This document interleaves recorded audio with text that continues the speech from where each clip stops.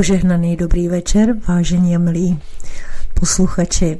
Vítám vás ze studia Beta pořadu, ve kterém vystoupí naši milí hosté biskupové byzantského katolického patriarchátu, biskup Metoděj a biskup Timotej. Pánové, já vás vítám, doufám, že se slyšíme.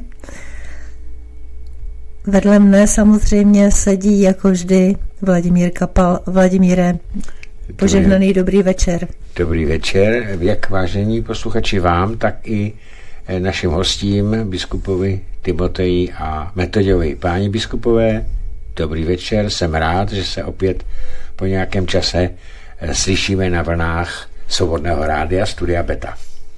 Požehnaný dobrý večer. Požehnaný dobrý večer.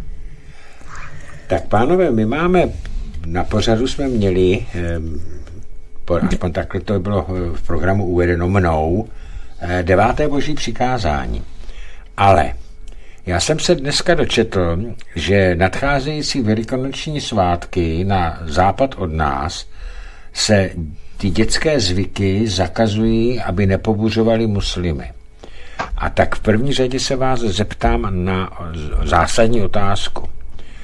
Co je pro vás jako, jako eh, křesťanské kněží eh, to významem a důležitější, důležitostí, významnější a hlavní svátek křesťanský?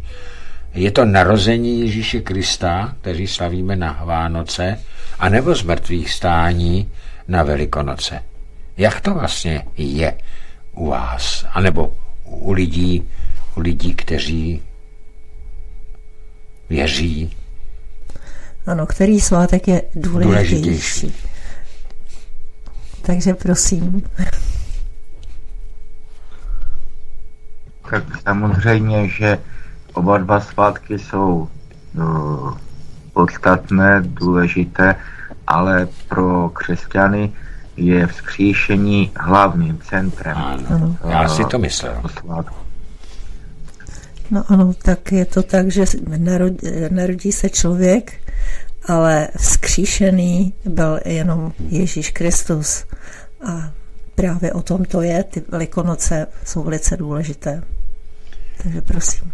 Mohli byste to trochu rozvíst, páni, význam těch velikonocí jako křesťanského svátku. Já jsem se také dočetl, že křesťanské svátky Velikonoc se naroubovaly uměle na původní keltské svátek, svátky ty Beltiny.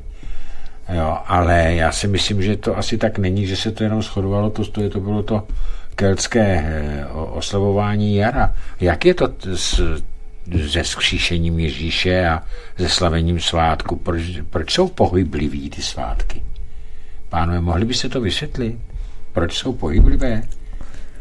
Já si nikdy nepamatuju točí, když jsou Velikonoce. Na rozdíl od Vánoc. Ano, jsou na to pravidla. Já vím, ale já je neznám. Dobře.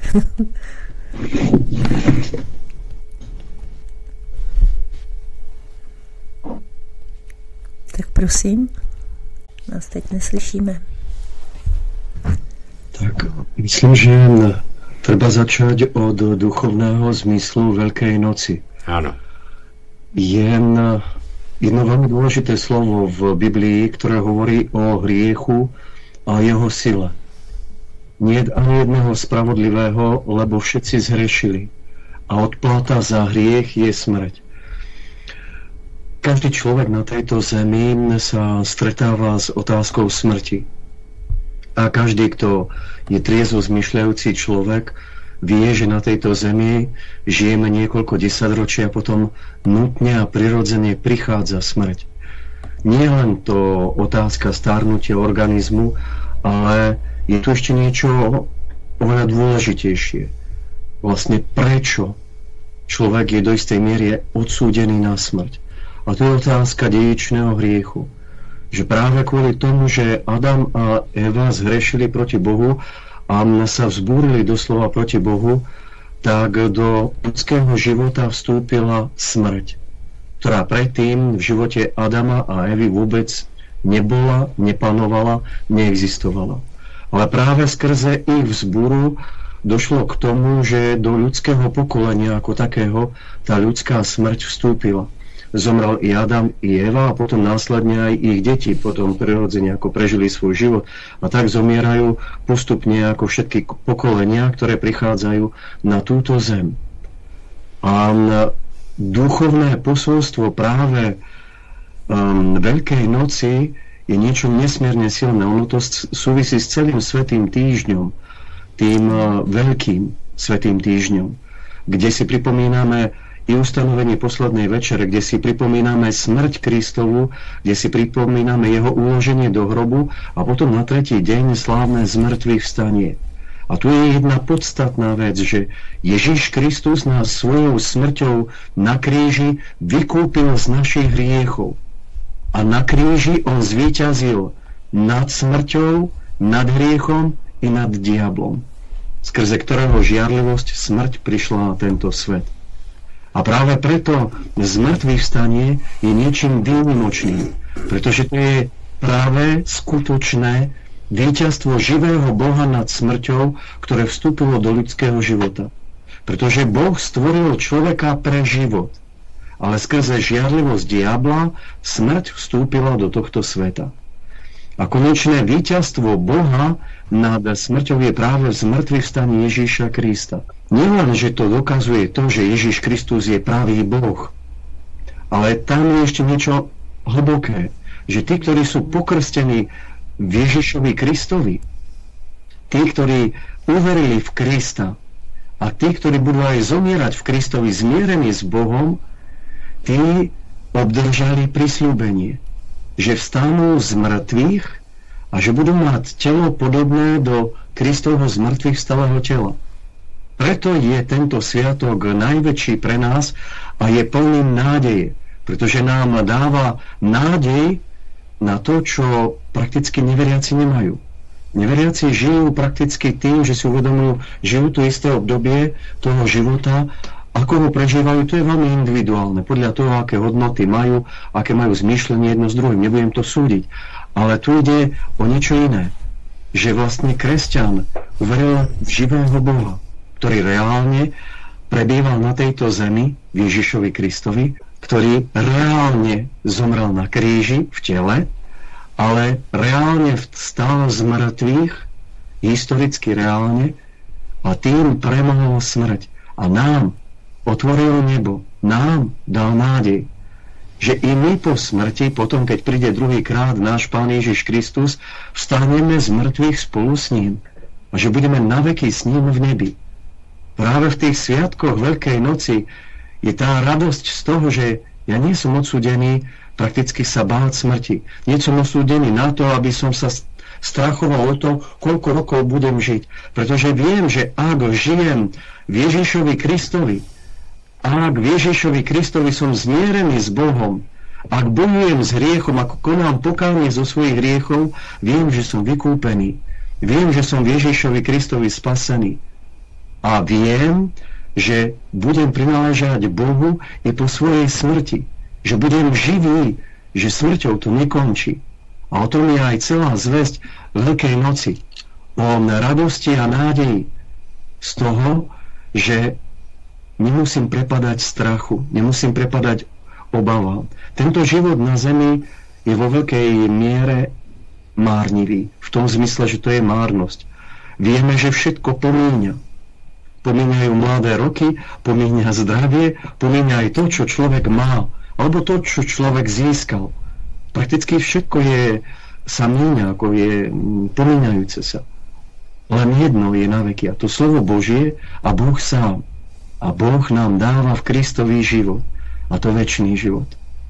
No poprosím biskupa Metodia, aby to ozrejmil ešte lepšie.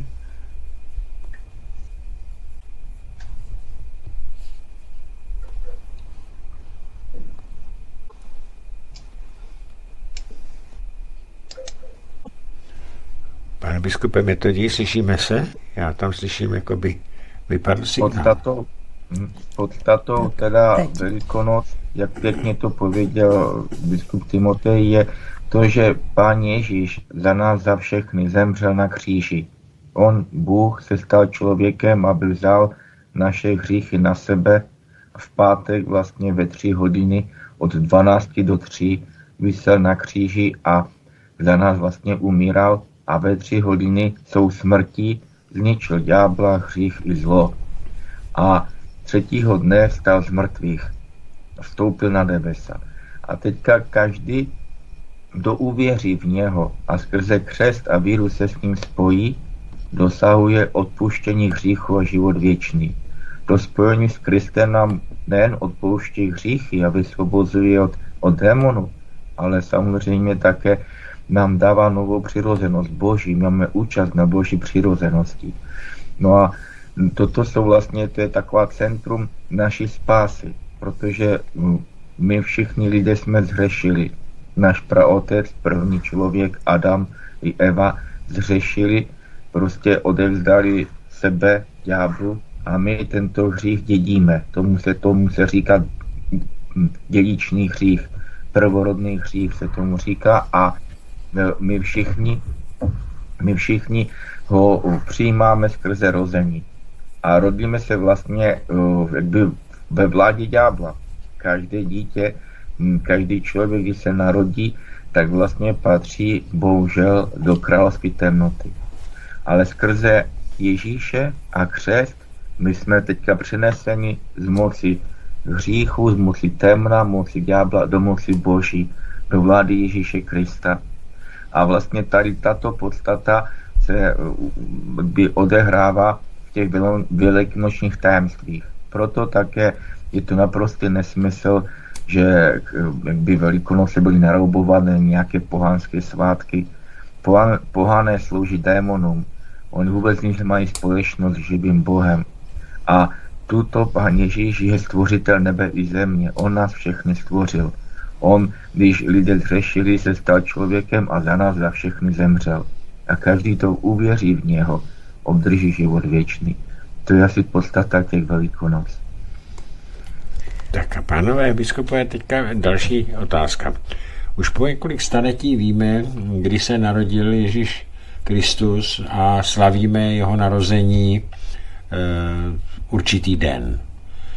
Vy, jak jste teďka, pane biskupe Metoději, tady krásně osvětlil, tak víte, v kolik hodin byl eh, Ježíš Kristus ukřižován, v kolik, kolik hodin vysel na kříži, v kolik hodin zemřel, za, za tři dny vstal z mrtvých. Ale vysvětlete mi, prosím pěkně, jednu otázku, kterou jsem už položil, ale já ji opakuju. Proč není stanoveno svátky velikonoční pevné datum, jako tomu je u Vánoc? Proč je to pohyblivé datum, které se pohybuje od v podstatě od e, začátku března až cyklů. Do, já vím, ale proč tomu tak je? Když se tam Dívejte, pro, pohybuje to, skoro půl je, druhého měsíce. Se, je tam rozptyl. To je dané už i starým zákonem, protože vlastně ta židé slavili uh, paschu přechod vlastně tím rudým mořem a je to vlastně pře, to byl obraz přechodu z moci temna do moci boží a e, to bylo spojené vlastně e, s, s jarním e, první neděli, no, po jarním, jarním úplnkem. My, křesťané, vlastně na to navazujeme a máme, že, že ta, ty velikonoce, ta, ta pascha, přechod vlastně z, z, z temnoty do světla, kdy kdy Kristus stal z mrtvých a nás všechny zachránil, tak to je e, první neděli po prvním jarním úplňku. A proto je to pohyblivé. Velikonoce jsou vždycky první neděli po prvním jarním úplňku. No a ten první jarní úplněk, to znamená, je to tedy po úplňku, který proběhne po 21. březnu. No a ten úplněk je pohyblivý.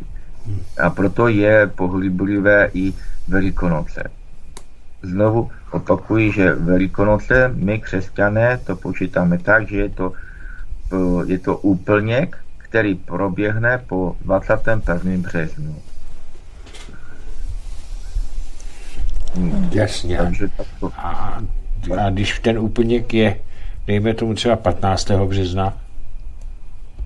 No tak se právě musí čekat, až bude zase ten uh, po tom prvním 20, po 21. březnu, kdy bude první úplněk. Aha, protože taky jsou někdy velikonoce Máš cyklus 28. Já vím, no.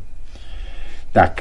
Právě proto východní, třeba eh, ten východní kalendář je posunutý o těch 13 dní, protože hmm. on nepřijal ten, třeba pravoslavná církev nepřijela gregoriánský kalendář hmm. a má pořád ten uh, starý lunární, je posunutý o 13 dní a proto někdy vlastně ty velikonoce, tak jak i tento rok, východní církev pravoslavná bude slavit o pět týdnů později. Hmm, hmm, hmm. Západní církev a třeba i my budeme mít toho, toho no, 31. března budou Velikonoce, a, ale pravoslavná církev a ti, kteří jsou stejně jako oni, tak budou mít až to bude no o pět týdnů později. Mm-hmm, to bude někdy v no. Tak, další dotaz bych měl, co se týče Velikonoc.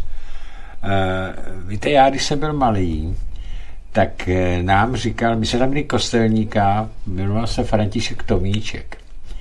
Já si to pamatuju a to mi bylo pět let. A on nám vyprávěl, proč musíme chodit o velikonocích řechtat. Protože v, o velikonocích odlétly zvony, které určovaly čas. Všechny zvony. Takže odlétly do Říma. A mě by zajímalo, kde se tato já nevím, tato zvyklost, kde se vzala. Mně se to líbilo, proto my jsme museli ohlašovat ty hodiny tím řechtáním. Mně jako klukovi se to strašně líbilo a můžu vám říct, že jsem se vždycky na zelený čtvrtek těšil, když začneme řechtat a dneska e, i tady na té malé vesnici už se to nedrží. Ve, ve městech už dlouho, ale za nás se to drželo a těšili jsme se na to. A co jste u toho říkali, Vladimíre? Eh, my jsme u řechtání neříkali nic, to se říká to při tom, když jsme potom chodili vybírat ty ano. vajíčka a, a dárky. Ne, potom se začalo chtít ty mladý Pomásku. peníze, ale my jsme nechtěli peníze, my jsme chtěli vajíčka. My jsme počítali, kdo má víc a i barevnějších vajíček. Takže tam jsme říkali tu říkáku Jidášovi, samozřejmě. Tak pánové, eh, kde jsem vzala ta pověst o tom, že odletěli zvony do Říma? A znovu opakuju, mně se to moc líbilo. Ta pověst.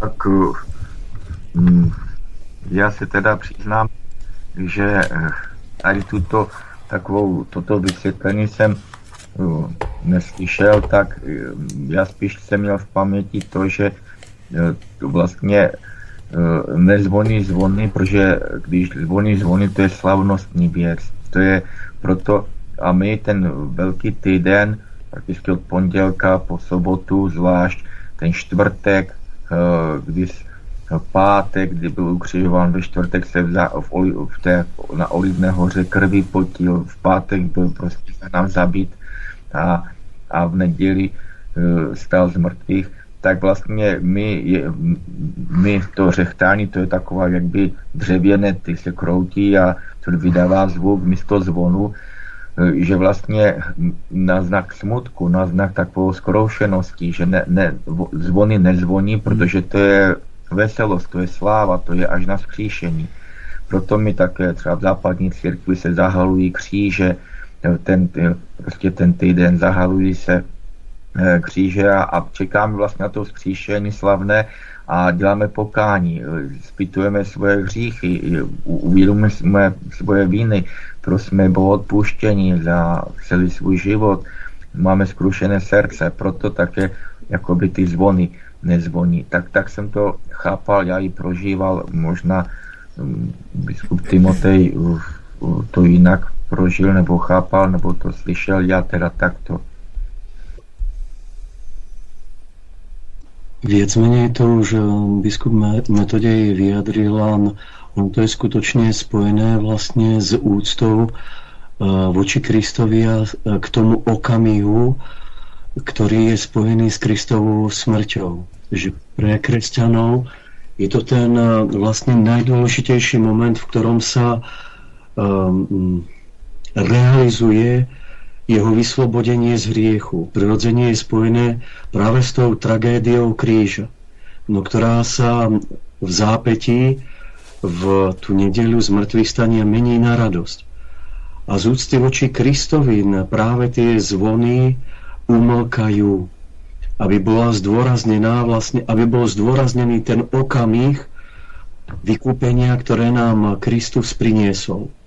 Vykúpenia, ktoré mm, je prakticky epochálneho charakteru. Neexistuje na svete nič tak dôležité, ako to, čo Kristus urobil práve v, tých, v priebehu tých pár dní. To bol ten štvrtok, piatok, sobota a nedeľa. Vlastne svetý týždeň. Tie najdôležitejšie, obdob, tie najdôležitejšie veci, ktoré Ježiš vykonal v tom okamihu. No a tak ako to už hovoril vlastne biskup Metodí, že vlastne toto bolo aj dôvodom, prečo sa prestali používať um, zvony v tom konkrétnom okamihu a používajú sa tie rabkáče alebo klepáče, záleží od toho, kde čo používajú. Napríklad tu v příkazích, ako mňa to veľmi oslovilo, že je stále skupinka malých chlapcov, ktorí sú organizovaní dvomi alebo tromi staršími a s týmito klepáčmi alebo rabkáčmi vlastne chodia po dedine. A mm, je to no, veľmi zaujímavé, že neviem, nakoľko si uvedomujú hĺbku e, tajomstva spásy, ktorú sme dostali v Ježíšovi, no tu vďaka Bohu ešte v tých príkazích sa s tým dá stretnúť. A je to obdivuhodné, pretože vstávajú skutočne veľmi skoro ráno a už veľmi skoro ráno, keďže mám okno do ulice, tak vždycky ma to vlastně upovedomí a vždycky to počujem. Jako. Já jsem, jak jsem říkal, já jsem začal chodit řechtat jako pětiletý kluk, to znamená, že mám vzpomínky starý 70 let. A my jsme začínali hmm. řechtat ve 4 hodiny ráno a končili jsme ve 4 hodiny odpoledne. A vždycky jsme řechtali ob hodinu. A můžu vám říct, že za dob mýho mládí před těmi 70 lety, je to neuvěřitelný, tak že těch eh, band nebo, nebo skupin těch eh, kluků, ale i holky tam mezi náma chodili řechtat s řechtačkama, někteří měli ty, ty trnčící hm, trakaře, tak že jsme si rozdělovali město a dokonce jsme se kvůli tomu, jsme kvůli tomu válčili, protože eh, ta jedna skupina chtěla ještě sebrat i třeba naší ulici, takže bylo opravdu to město, bylo to malé město Stará Boleslav, ale to město, když já začínal v pěti letech, tak to o velikonocích znělo, vyloženě znělo řechtačkami a víte, co je, pánové biskupové, to nejkouzelnější? My jsme začínali řechtat ve čtyři ráno. Nezažili jsme za celou tu dobu někoho, kdo by nám nadával, že ho zbudíme. Nikdo nám nenadával. No. Lidi byli tolerantní a fandili nám. Jestli ty zvony neodletěly právě před, tím, před těmi uh, řechtačkami. ne, ale jenom říkám, že ten, že, že nám nikdo ani tehdy nenadával, že jsme ve čtyři Myslím, že byli lidi tolerantní. Ano, ano, ano. Ano, jinak se říká, že zvony odletěly do Říma uh, pro požehnání Ano, pro požehnání. No, takže pánové, jsem velmi rád, že se to na, na příkazech hmm. na Moravě drží. drží ano. Protože my jsme tady na malé vesnici a už tady se neřechtá. Hmm. Tradice se mají dodržovat. Ano, ano, Pak, když se ztratí tradice, tak vlastně přichází i o ten část národ duše národa. O svoji identitu. Ano, ano. tak eh, ještě k tomu, těm velikonocím bych se chtěl zeptat, pánové, eh, jaký podle vás je, jaké je největší, vy jste to v podstatě řekli, ale takové, řekl bych, to hlavní poselství Ježíše Krista, který za nás, za lidi, ochotně položil život, protože on to věděl dopředu. Ano tak takové, co bylo to jeho hlavní poselství? On věděl, Přece, že musí. Ano, musí. Přece to nemůže být jenom, aby ty lidé, e, že sejme hřích za lidstvo, ale nebylo to poselství taky v tom smyslu, aby se lidi snažili žít co nejméně v hříchu a páchali co nejméně hříchu. Ale bylo to, Vladimíre, proroctví, Já se... kterému on se podřídil. Hmm. Takže, tak prosím, prosím. páni. No, je to, je to tak, jak to říkáte. Je samozřejmě tady tato ontologická věc, že ta jeho smrt a jeho skříšení jsou nutné k naší spáse. A zároveň on nám ukázal příklad a říká, následujte mě. Hmm. A každý člověk, který si zamiluje Krista, pravdu a jde za ním, tak vlastně ví, že on musí jít v jeho šlepějích. To znamená, že náš život je taková křížová cesta, která nakonec skončí na Golgotě, ale úplný konec je skříšení a život v nebi. Takže každý křesťan ví, že musí každý den se zapřít, vzít svůj kříž a následovat Ježíše. To je tak ta, jak by tak, ta výzva Ježíše, to následuj, následuj mě, jdi za mnou. Pokud samozřejmě ho chceme mít rádi, chceme mít rádi Boha a chceme žít podle jeho přikázání. On nám ukázal cestu, jak máme žít, že máme odpouštět, že máme žehnat těm, kteří nás proklínají, že máme ten kříž brát, obejmout a nést ho, že máme prostě se obětovat pro druhé. To vidíme třeba no, v rodině, maminka vychovává děti, se obětuje pro ně, tatínek třeba, tak on pr- pracuje, je věrný manželce, vychovává tež ty děti, že máme všich, náš život vlastně má být takovou obětí pro, pro druhé lidi tak to nám dal pán Ježíš jako příklad. Samozřejmě, kdyby někdo z lidí zemřel za lidi, to nepomůže, to neodpustí hřích. Tomu, ale smrt Ježíše odpouští hřích, protože on je Bůh a člověk. Nejen člověk a nejen Bůh, ale Bůh, který přijal lidství, stal se pravým člověkem a nepřestával, nepřestal být pravým Bohem a on umírajíc na kříži vlastně umírá člověk a zároveň eh, je to boží osoba. Proto ta jeho vykupná smrt má moc spasení, má odpuštění hříchu pro každého, kdo v něho věří. A dal nám i příklad, protože on byl i pravý člověk a řekl, následujte mě. No a tak to je taková ta podstata těch velikonoc. Pánové, teďka se vám k něčemu přiznám. Vzhledem k tomu, že já nejsem věřící a já o sobě říkám, že jsem agnostik, to znamená nevím. Ale vzhledem k situaci, kdy se nás snaží pohltit jakýsi půlměsíc a mizí kříže na svatých místech, zapalují se takové chrámy, jako je Notre Dame, tak ač jako agnostik tak za Ježíše a za křesťanství proti těm muslimům bojuju všemi silami, které, které mám.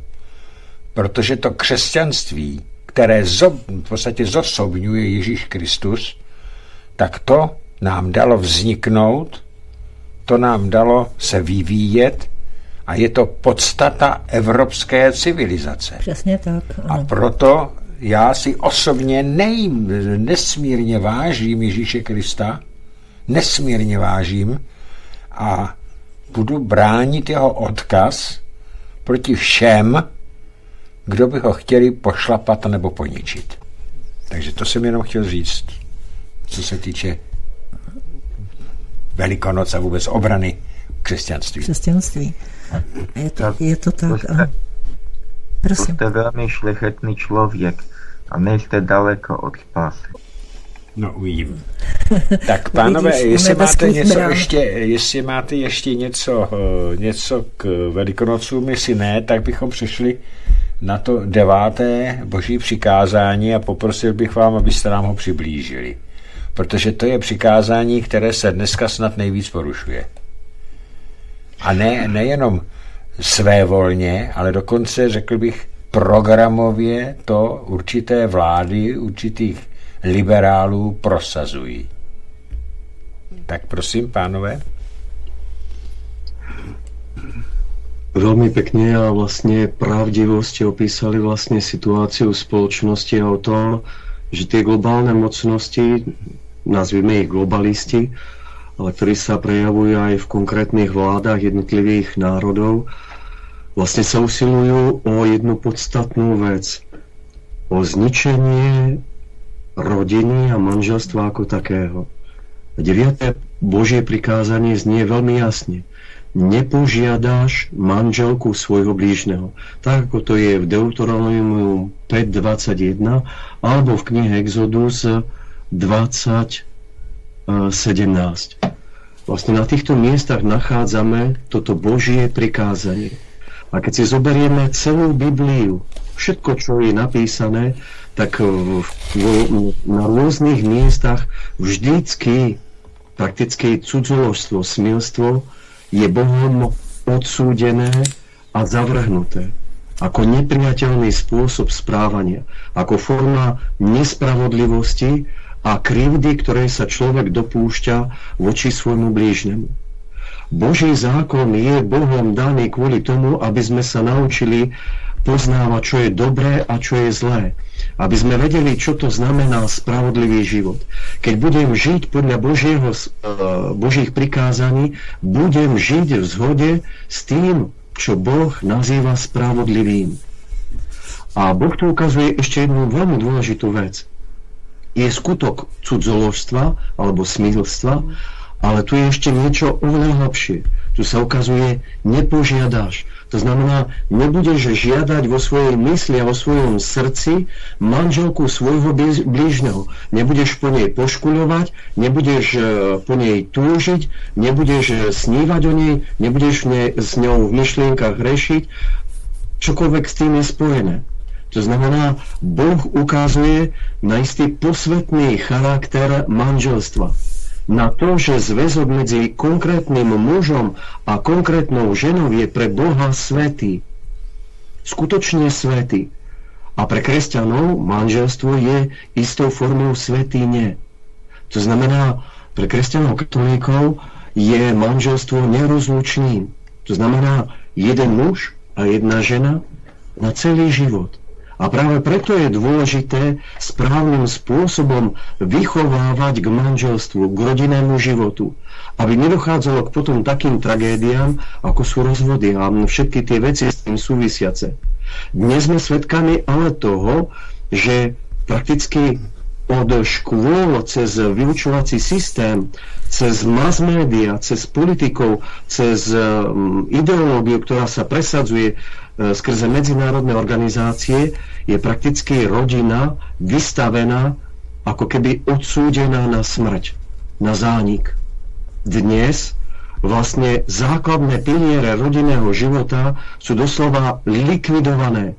Je to najväčší masekér v dejinách ľudstva.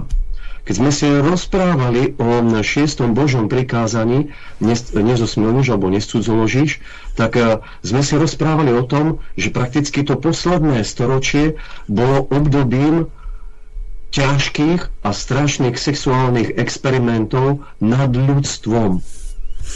A teraz práve skrze tieto experimenty oni likvidujú základné piliere rodinného života.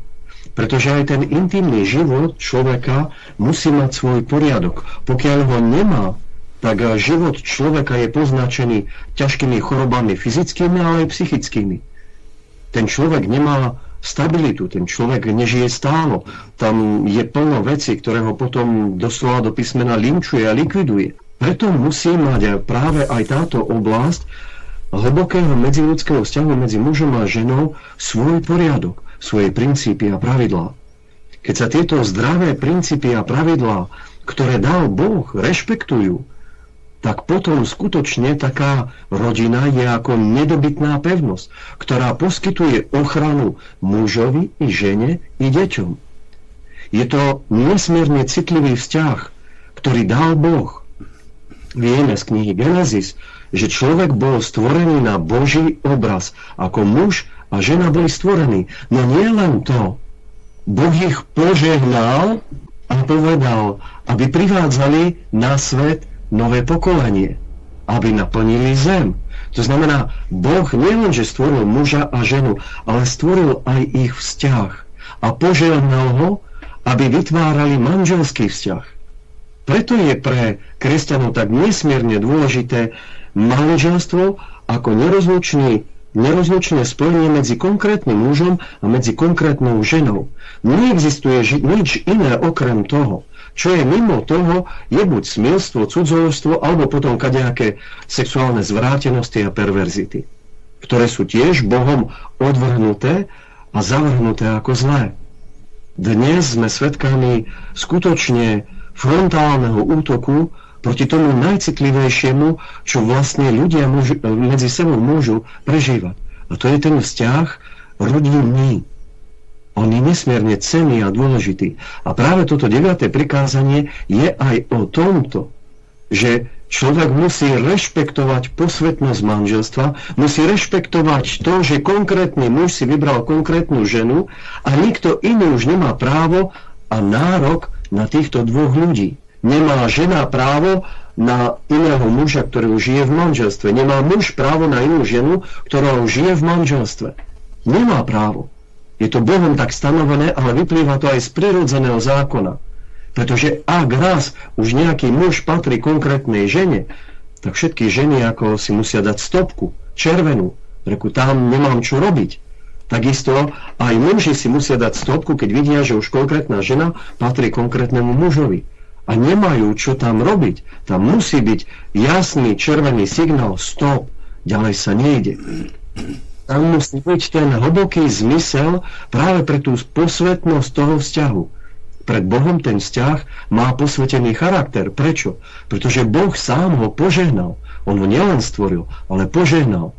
Dal mu nejaké vnútorné usporiadanie. Dal mu niečo, čo je nesmierne cenné. Dnešná spoločnosť je totálne chorá.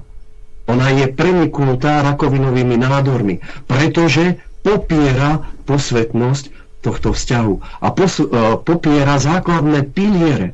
A nielen to, ona ich systematicky likviduje. Už skrze školský systém, skrze filmy, mass média, skrze to, čo sa prezentuje, skrze napríklad tú genderovú ideológiu, skrze juvenilnú justíciu, likvidácia rodiny, skrze ten istambulský dohovor. Všetky tieto veci sú namierené na to, aby likvidovali to, čo je Bohom posvetené a požehnané.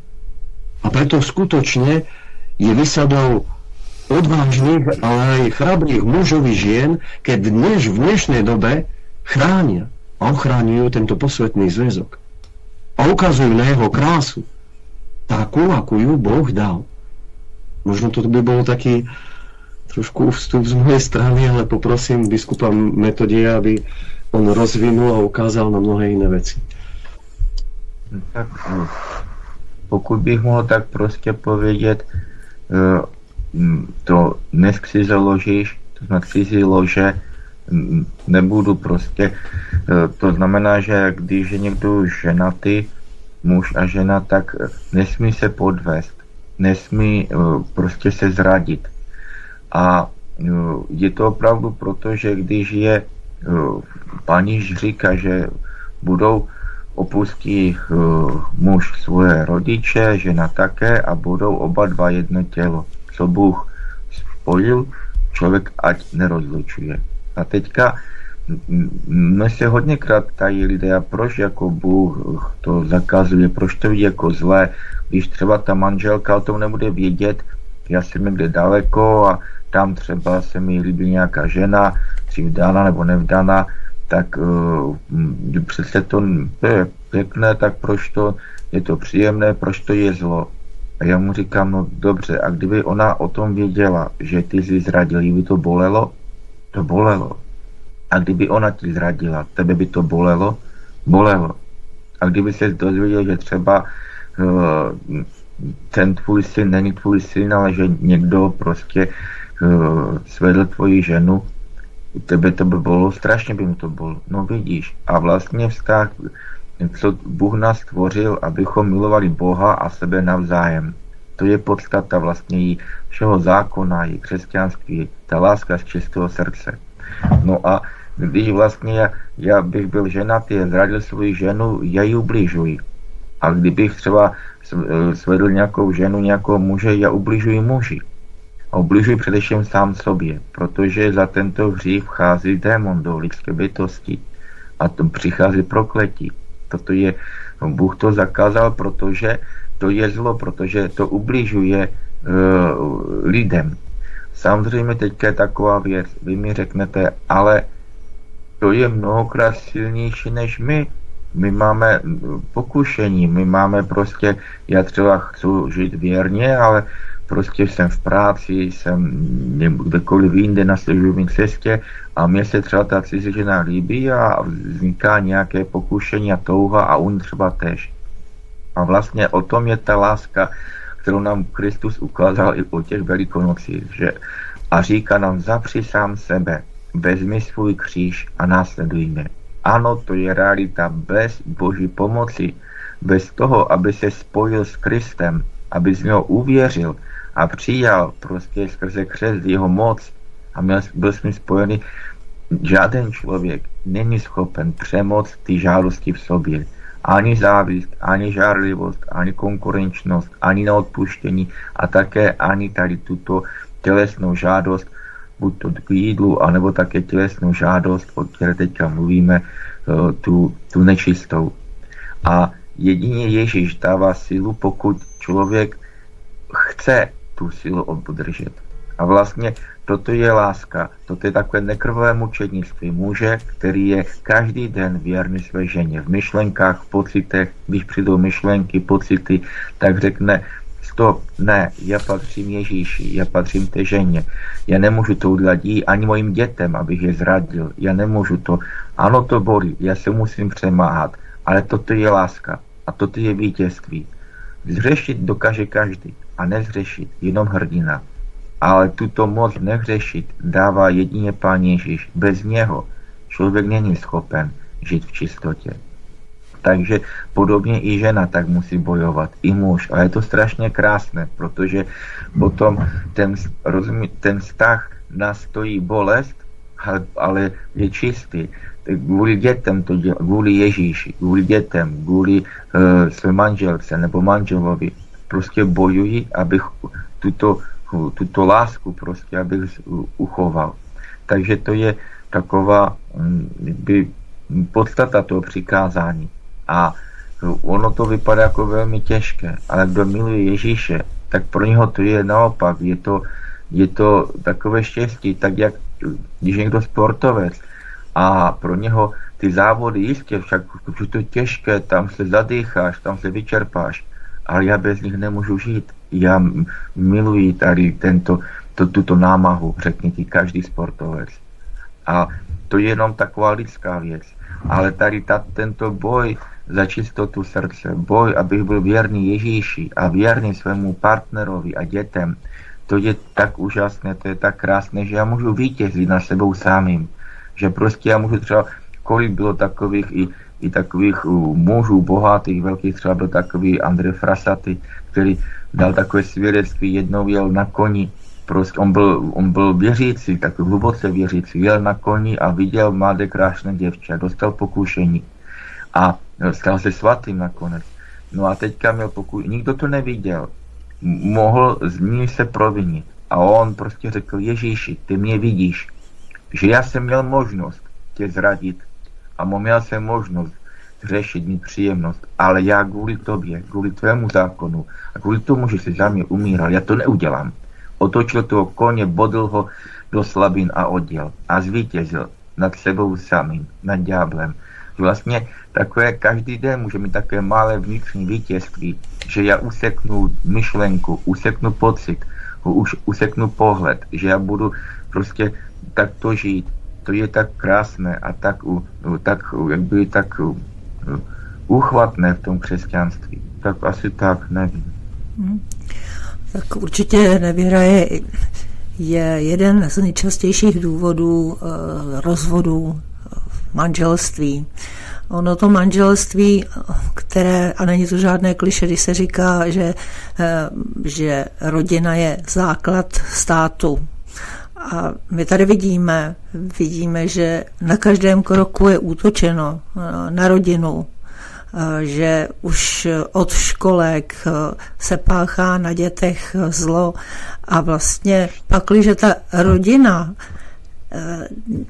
není bych řekla, zocelená v, v té lásce k Ježíši Kristu a není, eh, nejsou ty děti vedený, není jim vysvětlováno, proč se mají chovat eh, tímto způsobem, protože křesťanské děti to mají v dnešním světě velice těžké a oni musí překonávat ještě více nástrah než děti, které, které tak jako nejsou formované. Tak je to, je to o výchově, od dětství, kdy se ten člověk formuje a uvědomuje si, proč se bude chovat jiným způsobem než třeba jeho většinové okolí. To je takový, myslím si, vůbec kámen, eh, na kterém by se mělo stavět. Co se myslíte, pánové? Eh, Velmi pěkně jste to vyjadrila a ukázala jste vlastně na, taký, na takovou tu podstatu, že aká je důležitá výchova v rodině, ale to podstatné je vlastně v Ježíšovi Kristovi, který dává tu sílu odovzdávať lásku, príjmať lásku a vlastne žiť ňou. Keď eh, sa človek obrátenie znamená zmenu myslenia. To znamená, zanechá to zmýšľanie tohto sveta, ktoré je zvrátené v mnohých oblastiach a príjme nové myslenie, to myslenie, ktoré dáva Kristus. Obraz nového zmyslenia je odrazený aj v Božom zákone, v tých desiatich Božích prikázaniach, pretože Ježiš povedal, kto ma miluje, bude zachovávať môj zákon. Zákon Boží je dobrý a svetý. No, aby ho človek zachovával, musí mať skutočne hlboký úprimný vzťah s Kristom aj to mm, by som povedal ho neuchráni od toho, aby nebol vystavený rôznym pokúšeniam, útokom alebo dokonca aj takým istým náklonostiam ku zlu. Veľmi silne o tom hovorí Apoštol Pavel v liste Rimanom, kde doslova do písmena hovorí. V, je to v 7. kapitole od 14. verša. Viem, že zákon je duchovný, ale ja som telesný zapredaný hriechu. A Pavel tu ukazuje na to, že my máme v sebe tú náklonnosť k zlu, porušenosť, k tej telesnosti, to znamená k tomu, aby sme zmýšľali zle, krivdili sebe, krivdili druhému, krivdili Bohu. A to znamená, tam prijavovali nespravodlivosť aj nelásku. Ale naopak, pokiaľ sa otvárame Kristovmu duchu, tak príjmame Boží zákon, duchovný zákon. A Duch Svetý nám dáva moc premáhať naše vlastné telo. Boh nám dáva moc premáhať našu porušenú prirodzenosť. Boh sám to pôsobí. Keď Ježíš odchádza, tak povedal apoštolom, neodchádzate z Jeruzalema, pokiaľ nebudete ozbrojení mocou z výsosti. To znamená Duchom Svetým. Kto príjma Ducha Svetého, obdaru, je obdarovaný mocou od Boha, a to mocou, ktorá mu dáva víťazstvo nad sebou samým, nad náklonostiami k zlu. Pavel ďalej hovorí, ani nechápem, čo robím, lebo nerobím to, čo chcem, ale robím to, čo nenávidím. No ak robím to, čo nechcem, priznávam zákonu, že je dobrý. Potom to však už nerobím ja, ale hriech, ktorý vo mne sídli. No a tu rozoberávam celú tú dilemu toho vnútorného boja. A potom dodáva, podľa vnútorného človeka s radosťou súhlasím s Božím zákonom, ale vo svojich údoch pozorujem iný zákon, ktorý odporuje zákonu mojej mysle, robí ma zákonom, zajacom zákona hriechu, ktorý je v mojich údoch. No a potom dodáva veľmi silne, je nešťastný človek, to má vyslobodiť z tohto tela smrti. Ale nech je Bohu vďaka skrze Ježiša Krista, nášho pána. Pretože v Ježišovi Kristovi, o tom je aj to víťazstvo skrze smrť Krista, skrze zmrtvých stanie. Je to víťazstvo nad hriechom. Je to víťazstvo nad tými náklonosťami.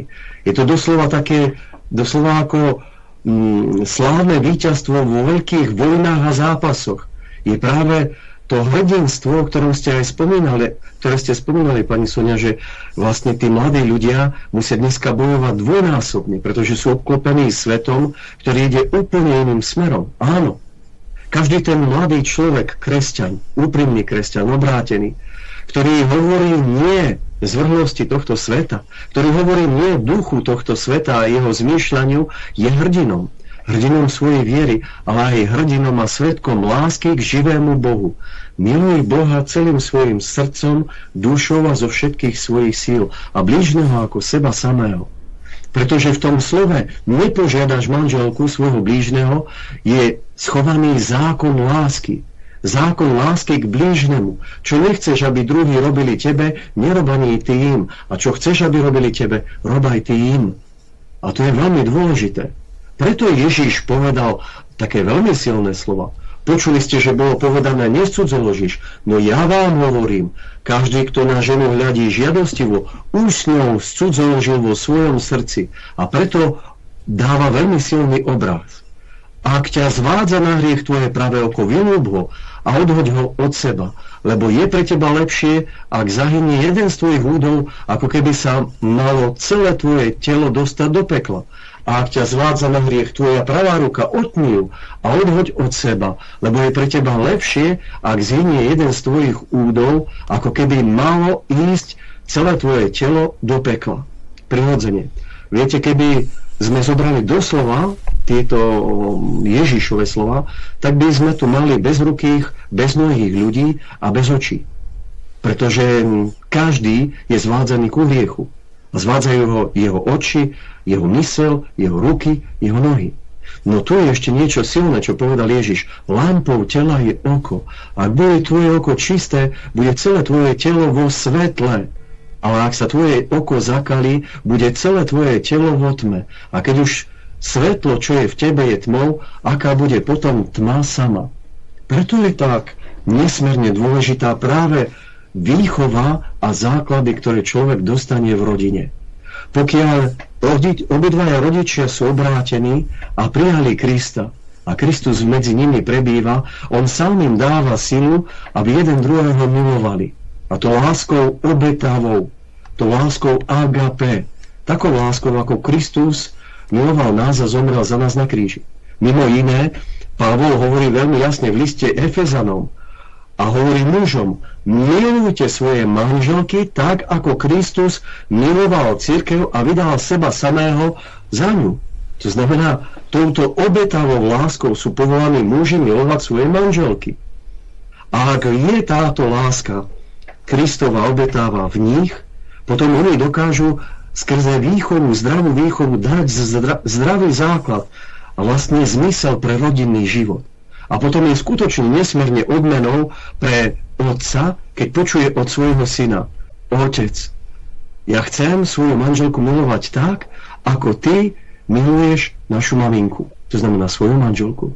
Alebo keď dcera povie svojej maminke, mami, ja chcem mať také krásne manželstvo a taký krásny vzťah, ako máte vy s otcom. To je najkrajšie ocenenie, aké môžu rodičia dostať. Keď oni uvidia, že jednoducho tie deti prijali skutočne tú výzvu lásky, ktorú oni sami prijali od Krista a celý život bojovali. Prešli rôznymi krízami, boli v rôznych eh, skúškach. To nebolo zadarmo. To boli tvrdé obete, to boli tvrdé útoky, ktoré boli ale prebojované na modlitbách, na kulenách, v pôste, odriekaní si kde častokrát museli ísť až do krajnosti, aby povedali nie hriechu. A práve tam získavali tú rídzu a čistú lásku. A práve až keď je mládež v tomto vychovávaná, tak jedine vtedy môže ona doslova do písmena niesť posolstvo zdravej rodiny. A potom odovzdávať potom ďalším pokoleniam. Tu je ale to jedno veľmi dôležité, na čo možno poukážem a zdôrazním, ale už len okrajovo. Lampou tela je oko. Dnes mladí ľudia sú obklopení zo všetkých strán. Sú bombardovaní už v materských škôlkach. V západných krajinách v niektorých majú tzv. kútky intimity. A čo to znamená? To znamená, že doslova do písmena v materských škôlkach vedú deti k tomu, aby sa vzájomne poznávali nahý, Chlapci, dievčatá, dievčatá, chlapcov. To je niečo ako zvrhlé. No už týmto sú bombardovaní v škôlkach. Potom prichádza školský systém, sexuálna výchova zvrátená, kde ich učia, čo robiť, kde robiť, ako robiť, kde robiť potraty a podobné veci. To sú šialené veci. Pretože toto všetko je namierené tak, aby zlikvidovalo akýkoľvek posvetný charakter rodiny a posvetnosť aj vnútornej intimity človeka. Dozorová dezolácia na každom kroku. A potom najhorší element v dnešnej dobe, aj to sústredím, je smartfón. Pretože ak je zapojený online na internet, tak to je každú sekundu príležitosť k tomu, aby človek skutočne cudzoložil a smilnil. Človek, e, možno mi niekto povie, no čo to hovoríš? Viete, keď raz urobili, e, nie že pokus, urobili akože jeden program. Z Ameriky financovali e, počítače pre africké deti. Prirodzene s tým, aby boli napojené na internete. Čo skoro to v Afrike zrušili. A viete prečo? Pretože chlapci sa v druhej väčšine prípadov pozerali na porno. Ale keď deťom blázniví rodičia strčia do ruky smartfón, tak ako môžu tieto deti si uchovať čisté oči? Deti nevedia, kam zalezu a čo robia, aký to má zmysel. Oni to do seba dostávajú. Keď to potom, potom do nich tlačia ešte aj v škole, nemôžu obstať. A potom aké základy môžu mať? Akú rodinu potom môžu mať? To jednoducho neobstoja. Preto je práve nesmierne dôležité to, čo ste už aj spomenuli, a to je výchova, zdravé základy, zdravé princípy, zdravý poriadok. A ten poriadok stanovil Boh. Kto zachováva Boží poriadok, bude sám požehnaný a bude radostný vo svojom živote. Bude radostná jeho manželka, jeho, jej manžel, deti, celá rodina. Kto bojuje proti týmto zdravým poriadkom stanovených Bohom, ale ktorí sú aj prirodzeným zákonom, no tak čo zase je to aj požne. Ako potom sú rozvody, potom sú tragédie, potom sú deti, ktoré nevedia, skade sú, odkiaľ sú, sa nechajú preoperovať a všetky tieto nezmysly a tragédie a bolesti, s ktorými sa spoločnosť stretáva. To odporný experiment eh, na lidstvu. Já, Globální. Samozřejmě to je proto, aby se ničilo lidstvo, aby byla depopulace země. Ale mm. pánové, oba dva jste teďka řekli jednu věc. Já jsem pozorně poslouchal, oba dva vás, páni biskupové, a z vašich slov jsem pochopil, že já nemůžu být věřící, abych se nestal pokrytcem. Protože já jsem opustil svou ženu, protože jsem s ní nemohl vydržet. Pravda, už byly děti dospělé, byly z baráku. Ale kdybych to neudělal a byl v tom, v tom vztahu, eh, tak jak nařizuje Bůh, tak už jsem buď ve vězení, anebo mrtvej. To znamená, že někdy ten vztah se v podstatě nepovede. Je to utrpení. V době před 150-200 lety, kdy byly rozvody velmi zřídkavé, tak bylo spousta rodinných tragédií, kde většinou ženy se za sebe vražďovaly, protože nemohly vydržet násilí od svých mužů, ale na druhou stranu byli i muži, kteří trpěli neskutečným způsobem, trpěli e, chováním svých žen. Já třeba jsem, tady dělám ten cyklus o těch buditelích, takový vrchlický, přijal dvě děti, které jeho manželka měla Eh, s jakým hercem, eh, kterým celý, celou tu dobu to táhla. Jenomže právě Jaroslav Vrchlický ho to strašně trápilo, uvažoval o sebevraždě, rozvody nepřipadaly v té době v úvahu, v 19. století, a tak eh, je přijal za svoje, ten syn, Jaroslav, ten se s ním moc nebavil, ale s tou dcerou Evou měl potom do konce svého života velmi dobrý vztah. Takže pokud bych já byl věřící, tak bych byl pokrytcem, protože jsem nedodržel slovo Ježíše Krista, slovo Boží. Tak, pánové, o tom bychom si mohli popovídat, ale po, po přestávce. Protože to je na další diskuzi tohleto. Ano. Jo? Takže máme 20. hodinu, pustím tam teď Eh, sestry, nádherné, nádhernou hudbu eh, vašich, vašich sester a po přestávce ve čtvrt na devět o tom, co jsem teďka tady povídal, si můžeme povídat. Já k tomu jenom krátce dodám, že to, že si opustil svoji ženu, v podstatě ale nespadá pod to deváté přikázání. to bylo no, trošku tam, jinak. Jistě, bylo ale, to o rodině. Ale, páni, ale ne, páni, nebylo páni to říkali, že musí být a já jsem ne to, tak já bych byl Dobře. pokrytcem, pokud bych byl věřícím a nesetrval bych do konce života v manželství. Ale říkám, budeme si o tom povídat po přestávce. Ano, pánové, zůstaňte prosím připojeni. Ve čtvrtá devět se opět velmi rádi s vámi uslyšíme, ano? Ještě jednou požehnaný dobrý večer, vážení a milí posluchači. Jsme v druhé části pořadu, ve kterém vystupují naši milí hosté, biskupové z Byzantského katolického patriarchátu, biskup Metoděj a biskup Timotej. Pánové, slyšíme se? Ano, slyšíme se. Ano, počujeme se. Tak ještě jednou tak, dobrý večer i ode mě. Tak teď to bude zajímavé.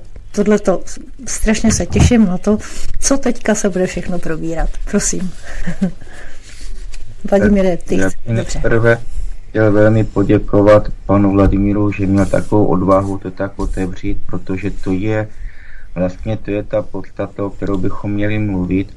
Tam je více věcí, jak by zároveň s tím spojené a uh, protože tento problém má mnoho, mnoho lidí. A nejprve bych teda chtěl povědět takovou věc, že křesťanství to není, že křesťan je nebo může být jen ten, kdo je dokonalý a nehřeší. My přece všichni jsme slabě hřešíme. A vlastně podstata křesťanství je, že já potřebuji odpuštění. Třeba ten můj případ. Podstata mého obrácení spočívala v tom, že já jsem si uvědomil, že mám hříchy a že že jsem se obrátil na Ježíše, aby mi odpustil. Já jsem kradl tatínkovi peníze, měl jsem nečisté myšlenky, ani jsem nevěděl, že to je zlo, až potom jsem se to dozvěděl.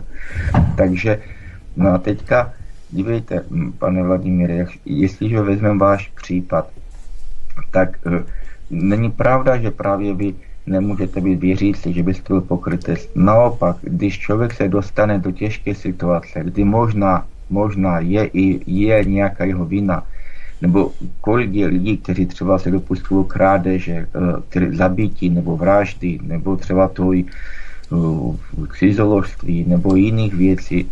A jaký je východisko? Však právě proto potřebují tu víru, potřebují se obratit na Ježíše a říct Ježíši, já jsem ten život zkazil, co mám dělat? A on poprvé odpustí, vlastně ten, když poprosím Ježíše, on odpustí. A druhé, najde východisko. Ve vašem případě, já si myslím, protože vy jste byl pokřtěn jako malé dítě, ano. že ano, že si myslím, že jste neměl svatbu v kostele. Ne. A neměl. To znamená, že když to tak vezmeme upřímně, tak jste vlastně žil ve smilství, nežil jste podle božího přikázání, takže to prakticky nebyla vaše žena před Bohem, před Bohem. Možná před státem ano, ale ne před Bohem.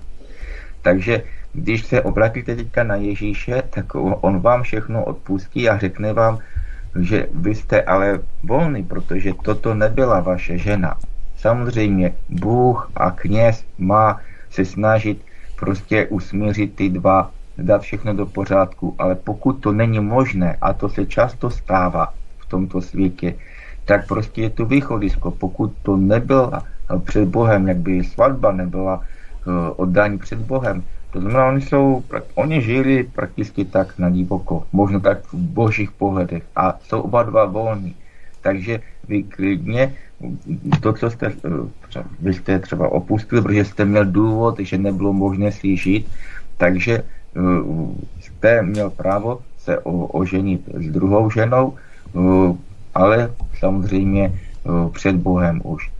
A teďka, jak to by vlastně vysvětlit, trochu se tomu potom vrátím a teďka povím, proto my, eh, kněží, biskupové, se snažíme tu naši mládež eh, křesťanskou jako pozbuzovat k tomu, aby když vchází do manželství, aby to velmi dobře promysleli, že aby se nedívali děvčata, on je krásný, nebo ona je krásná, chlapci, aby si, aby si vzali toho, o kterém ví, že samozřejmě všichni jsme nemocní, máme svoje vady charakteru, vždycky se tam trochu budou hádat občas, nebo budou mít jiné takové protichodné názory, ale v podstatných věcech, v podstatných, aby měli jednotu. Právě aby měli víru v Ježíše a věděli, že jsou věci, které oni neudělají. Že třeba eh, se tam mohou po, pohádat, ale potom nakonec kleknou večer, poprosí Ježíše i sebe odpuštění, pomodlí se a to odejde a jsou zase se mají rádi. Ale že, že vlastně, aby si vybrali takové partnery, ty své budoucí manžely nebo manželky, eh, o kterých ví, že, že tím životem mohou projít i, i všechny zkoušky, bolesti, útrapy, že se nezradí, že, že třeba kvůli dětem ponesou ten kříž. Často se stává, že třeba nakonec se ukáže, že ta jedna strana třeba podváděla tak trochu, tak ta druhá strana potom musí nést, podváděla to znamená sebe, nepověděla celé svoje charakter, neukázala tak druhá strana potom nese celý svůj život ten kříž, že musí trpět nést to muže nebo muž ženu a modlí se k Bohu, aby uh, uzdravil tu, tu druhou stranu. A tak, no a teďka, když se vrátím zpátky, teda ještě tak proto ta mládež je třeba, aby o té výchově, jak jste to mluvili pěkně, paní se mnou, že, že třeba uh, pomoct té mládeži, aby se brali s, roz, s vírou, s moudrostí, s rozumem, s tím, že eh, do budoucna ví, že není možné se rozvést, aby si nebrali prostě člověka, na kterého se není spolehnout. Stává se také, eh, to už je církevní právo, že když třeba mě ta druhá strana podvede, například, eh, že neřekne, že je alkoholik, že je narkoman, nebo že má jiné takové vážné problémy, já to nevím, tak potom ta, ten, eh, ten sobáš nebo tato svatba před Bohem je, to manželství je neplatné, protože jsem byl podveden. No, takže potom se tak, tak to řeší. Ale vždycky kněz potom pozbuzuje ty dva, aby se usmířili, aby si odpustili, aby dali všechno před Bohem do pořádku a prostě bojovali statečně, protože život není o tom, aby nám tu bylo dobře, ale bychom se dostali do nebe. A nějaký kříž musíme mít. Někdo má rakovinu, někdo je slepý. Mě to hodně pomáhá, když na mě do, do, doléhají těžkosti. Mě Bůh vždycky tak pošle, že jdu po ulici, třeba vidím slepého člověka, nebo na vozíčku. Já si říkám, mě to dějí však, on má stokrát těžší kříž než, eh, tí, kříž než ty. Co vlastně ty máš za kříže? Jsi zdravý, oči máš, ruky máš, všechno můžeš. Tak co se, co se, jakby bojíš nebo co si stěžuješ. Však tento člověk by s tebou vyměnil hned, kdyby měl oči a mohl, mohl vidět. Ty můžeš chodit si, procházet se a on třeba nemůže. Takže uh, život není o tom, aby nám bylo dobře, ale abychom prostě statečně nesli svůj každodenní kříž a došli do nebe a potom budeme věčně šťastní. No a takže je třeba ty děti vlastně jim pomoct, aby se vzali tak, aby tato, toto nebezpečí, že se potom rozejdou a děti budou rozděleny, aby nebylo. Aby kdyby přišly i velké nějaké krize, aby si byli schopni prostě nakonec odpustit a jít společně a měnit se, měnit svůj charakter, říct si, co jednomu druhému vadí a byli schopni se neurazit a pomalenku to měnit. I, i pomáhat jeden druhému. Ale když se stane už, že, že dojde k takovému tomu rozdělení, tak uh, tam třeba potom, tak jak jsem to říkal, pokud tam ten byl platný sobáš, platné manželství před Bohem, potom Bůh dopouští, že může opustit muž ženu nebo žena muže, třeba tam je v případě cizoložství, nebo když třeba on je alkoholika, bije jí, děti bije, takže nemohou vydržet. Nebo jiným způsobem tam je, když prostě je duchovní nebo fyzická nějaká prostě nebezpečí eh, pro toho člověka nebo děti, tak ona může odejít, ta strana, třeba i s dětmi, eh, ta manželka nebo manžel může odejít, ale eh, nesmí si vzít jiného, pokud měli právoplatné manželství. To se musí ale prověřit, jestli to bylo právoplatné manželství.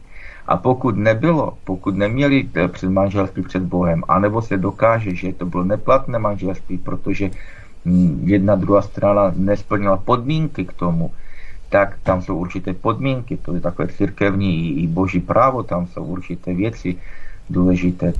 Takže takže potom, když teda ody, rozrejdou se a nejsou schopni žít spolu, tak neměli to manželství, tak si mohou najít jiné, ale jenom v Pánu Ježíši. To znamená, že, že už musí být moudří a že si musí vzít toho, s kterými jako budou žít uh, ve víře v Ježíše a samozřejmě to je taková rána na celý život, kdy člověk má být pokořený před Ježíšem a prosit o stále odpuštění, stále prosit o, o pomoc. Říkat, já jsem, to se všechno stalo, protože jsem zpočátku tě neměl moc rád. A tak teďka tě aspoň budu mít rád. Tak jak třeba ta Maria Magdalena, která prakticky žila nemorálním životem. Pán Ježíš z ní vyhnal sedm démonů, se píše v písmu. A on ho potom nejvíce milovala.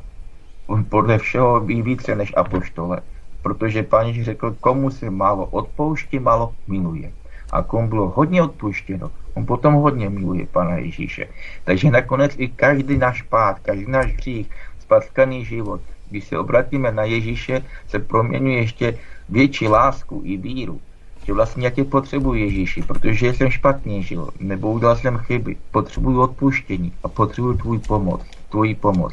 A Bůh je od toho Bůh, že On má řešení tam, kde člověk nemá už žádné řešení. On stal, to je to i to vzkříšení, že to bylo, ty lidé, i ďábel si myslel, vyhrál jsem nad Božím synem. My jsme ho zabili. Už je konec. A nebyl konec. On nepočítali s kým, že Bůh má moc stát z mrtvých. A on stál z mrtvých a všem prostě, po česky tak hloupě vypekl rybník. On vím, všechny přepřelstil přemohl ďábla, přemohl ty lidi. Nic se neskončilo, on zvítězil. Jeho nakonec ďábel chtěl ho zničit, protože mu vadil a svůj zabil ho a ta smrt vlastně nakonec zničila toho ďábla, je hřích, takže prohrál. A tak i v těchto situacích člověk si myslí, že není politické východisko. A když se obratíme na Ježíše, prosím odpuštění a prosím o východisko, on nám ho dá. On nám ho dá protože on je všemohoucí. Takže já si myslím naopak, pane Vladimíre, velmi pěkně a upřímně jste to pověděl, protože to je problém mnoho lidí. A právě tu potřebujeme Ježíše, potřebujeme odpuštění a potřebujeme poprosit o východisko. A ono přijde, tak on ho dá. Takže to je naopak, no, vy nebudete pokrytec, ale budete pravdivý prostě člověk statečný, který uh, miluje Ježíše, tak jak třeba ta Maria Magdalena, víc jak všechny apoštolů. pan biskup Moc pěkně to pan biskup řekl, ano, pan biskup Timotej něco dodá, prosím. Mně se zdá, že já už k tomu nemám co dodat. Dobře, bylo to řečeno od pana biskupa Metodě hezky. Takže, pánové, máme tady poměrně dost otázek. Já předávám teďka Soně telefon. Žezlo, žezlo. Aby, aby je přečetla. Počkej. Tady. A začneme, začneme tady, dobře. Těma prvníma. Tak já se podívám na začátek, ono je to hodně, hodně. Tak. Dobrý večer všem, chci míru, pane biskupe Metoději. Vyprávěl jste před pár lety, že na Ukrajině něco sypali z letadel. Je možné, že tak nějak to mohlo být eh, s koronou? Teď se mi to tady ztratilo, Vladimíre, mi to jde. Takže to bude tak. Ještě děkuji ti. Eh, s koronou doporučuji eh, posluchačům, docentem Valenčíkem doporučený film Invalida a Nech svět světem s, eh, s Julie Robertsovou, ve které by mohlo jít opět, je to takové trošku delší, opět o jakousi predikci. Děkuji za odpověď Anna Chcimír. Paní Ano, děkujeme za dotaz, já se omluvám, ono to tam bylo trošku eh, nejdřív příliš velké, pak příliš malé ten text, takže prosím pánové. Tak na té Ukrajině je už známe, že nebylo veľa vlastně těch eh, biologických laboratórií, v kterých se reálně vyvíjali vírusy, ktoré mali likvidovať, a to špeciálne na základe konkrétneho genómu, napríklad slovanského. Špecializovali sa na konkrétnych ľudí. malo sa na mysli obzvlášť ruské obyvateľstvo že sa vyvíjali vírusy, ktoré mali ničiť práve toto obyvateľstvo.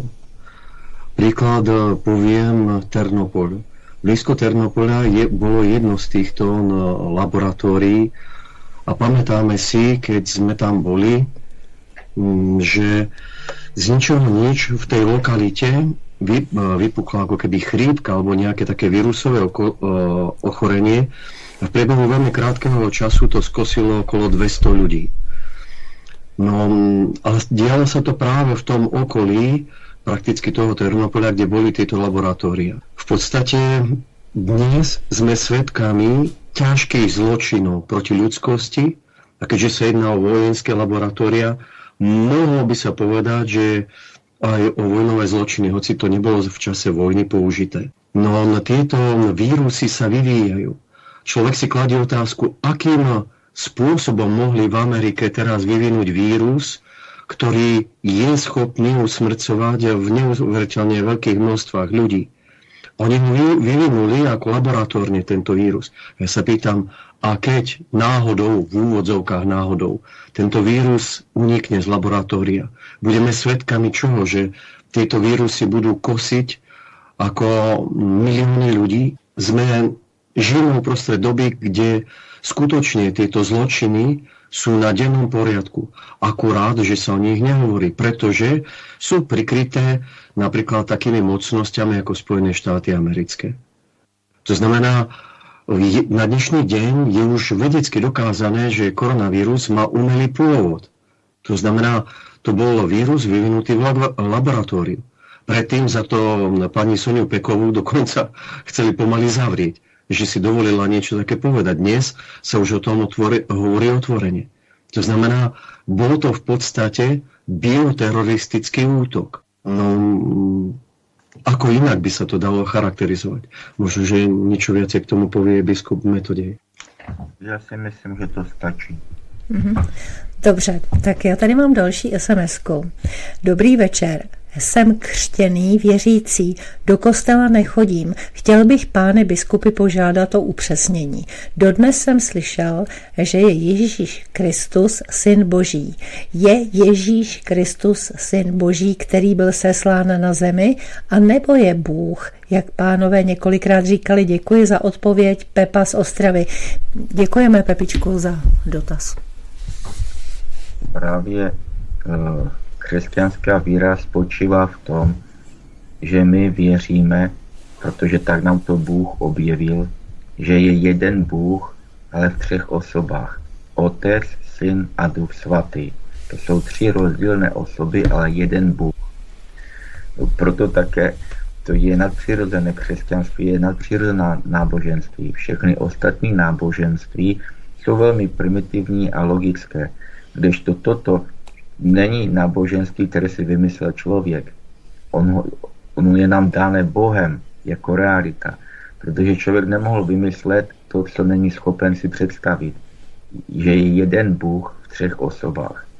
A právě druhá osoba Boží je Boží syn, je Bůh. Boží syn je také Bůh. Bůh Otec je Bůh, Boží syn je Bůh a Duch Svatý je také Bůh. A jsou tyto tři jsou jeden Bůh. Takže to je, eh, to je vlastně ta odpověď, že Pán Ježíš, Pán Ježíš je právě Bůh, právě člověk, jeden ze svaté trojice a byl poslán Otcem na zem, aby zachránil lidstvo od ďába, od hříchu. Takže eh, Boží syn a hm, že je Bůh, to je to samé. Mhm.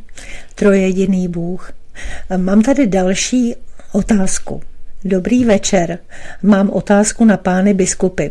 Jak to je u rozvedených se svatým přijímáním? Děkuji, posluchačka z Moravy. Děkujeme za dotaz, prosím.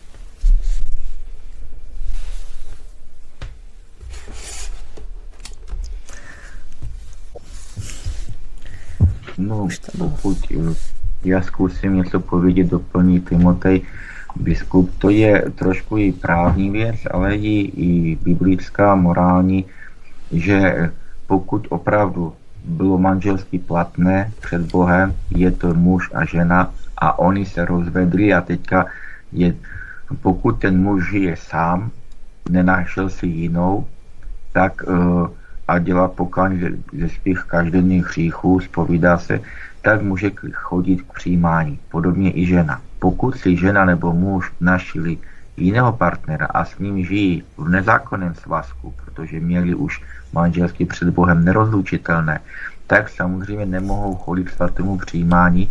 A to proč? Protože svaté přijímání to je vlastně eh, Ježíš Kristus. To je prostě v podobě chleba a vína my přijímáme eh, tělo Kristovo, tělo a krev Kristovu.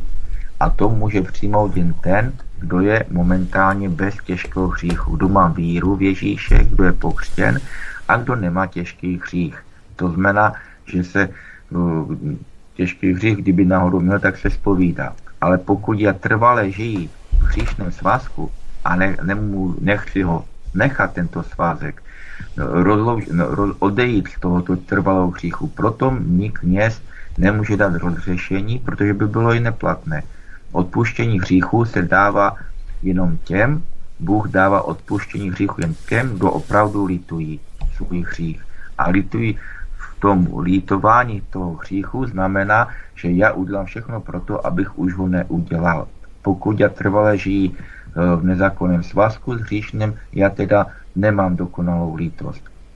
Potom se takových lidí se i pozbuzuje, když teda nejste ochotní, schopní, nebo jste v takové situaci, že tam jsou malé děti, vychováte je, tak žijte před Bohem v kajícnosti, uvědomujte si, že toto je těžký hřích, když v tom stavu žijete, proste odpuštění, modlete se a proste Boha, aby aspoň v hodinu smrti, protože tehdy je to možné, no, před smrti, prostě když už nemám možnost dále prodlužovat tento hříšný vztah, že budete to litovat a pro, že se vyspovídáte a dostanete rozřešení a tak budete spasen.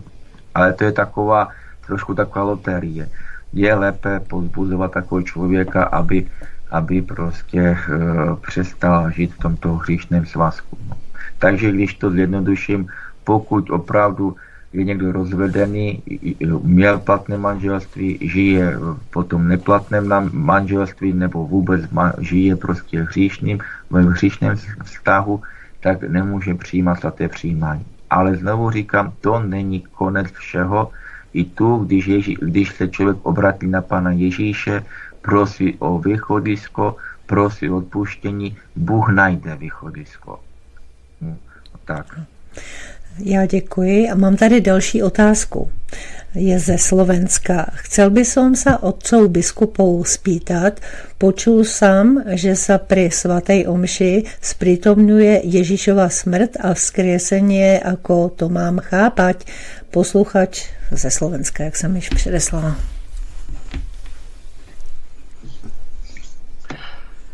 Ježiš Kristus sám vo štvrtok predtým, ako bol zajatý a zomrel v piatok na kríži, tak sám dal chlieb svojim učeníkom a povedal, toto je moje telo, ktoré sa obetuje za vás.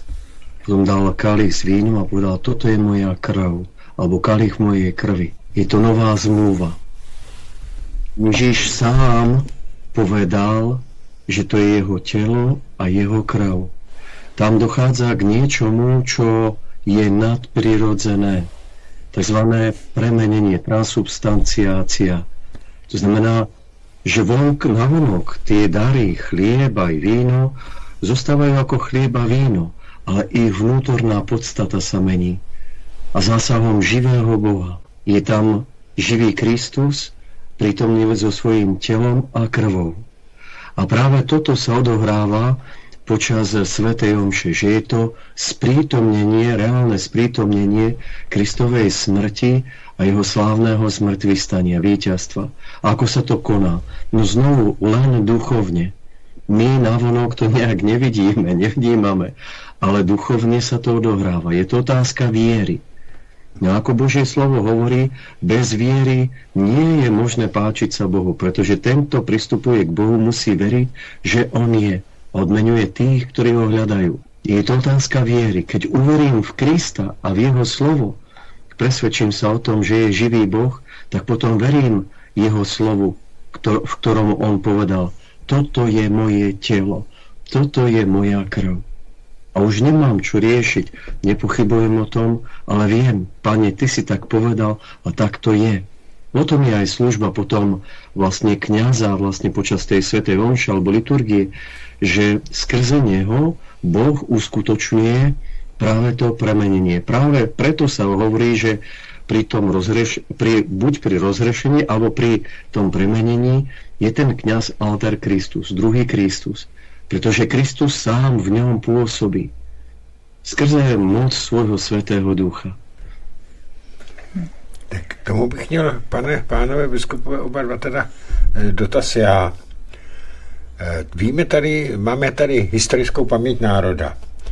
Tady probíhaly ohromné těžké boje za huzivské doby.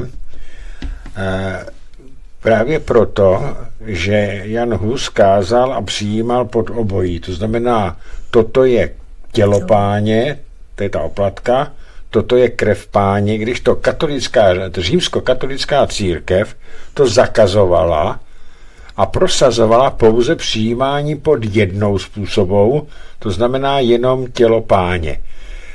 Já se ptám, jak je možné, když to bylo jasně řečeno eh, v evangelích, že římskokatolická církev, já nevím, jestli teďka římskokatolická církev dělá svaté přijímání pod jednou nebo pod obojím způsobem, to nevím.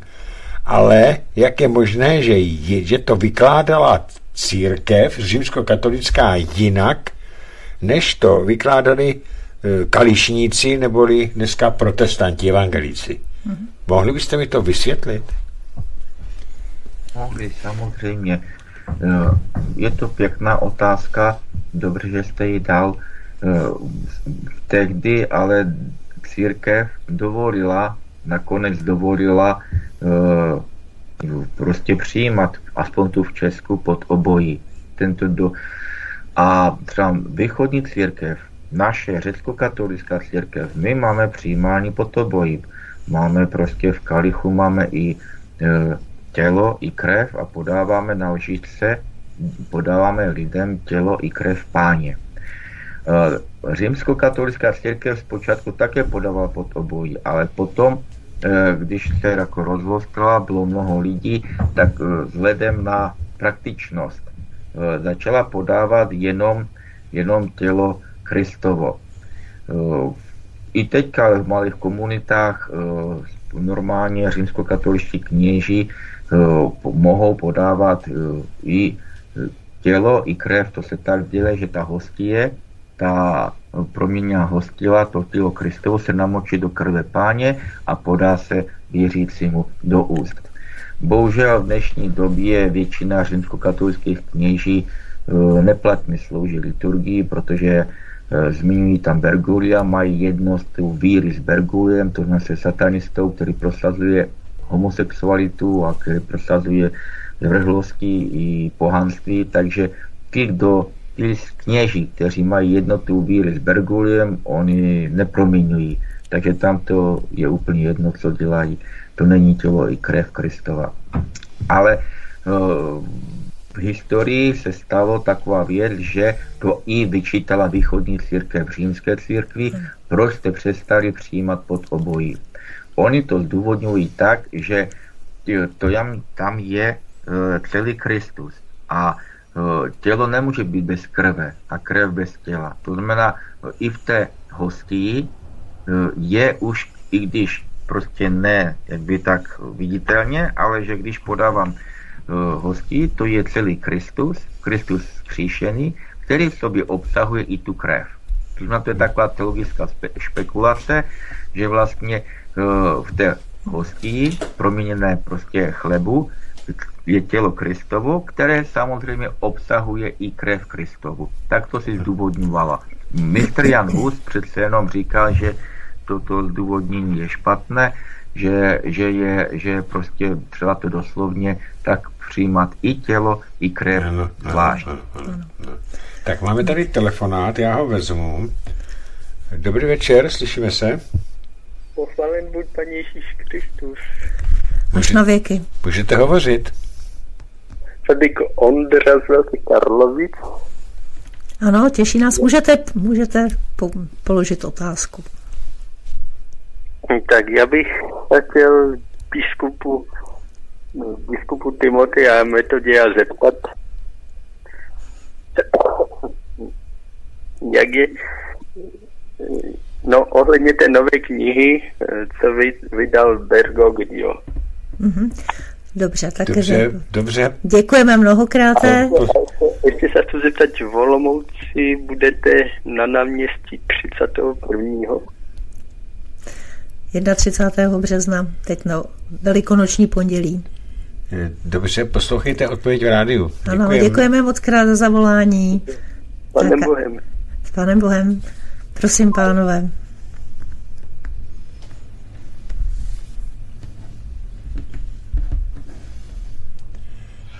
Um, neviem, ktorú knihu má na mysli.